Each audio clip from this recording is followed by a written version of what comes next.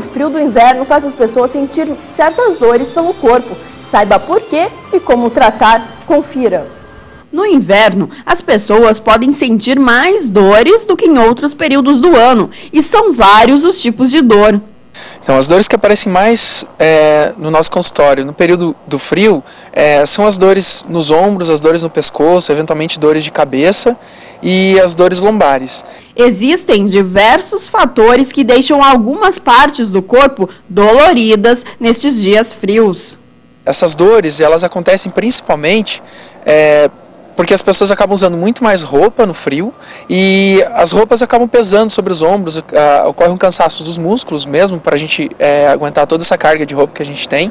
E além disso, a gente fica muito mais tenso no frio, porque a gente contrai os músculos e essa contração que serve para aquecer o nosso corpo, ela acaba limitando um pouco a circulação dos músculos. Isso faz acumular aquela sujeirinha que todo mundo conhece, que é o ácido lático. O ácido lático às vezes faz é, o músculo ficar mais dolorido. A solução é simples na maioria dos casos. Muitas vezes não é preciso nem usar remédio.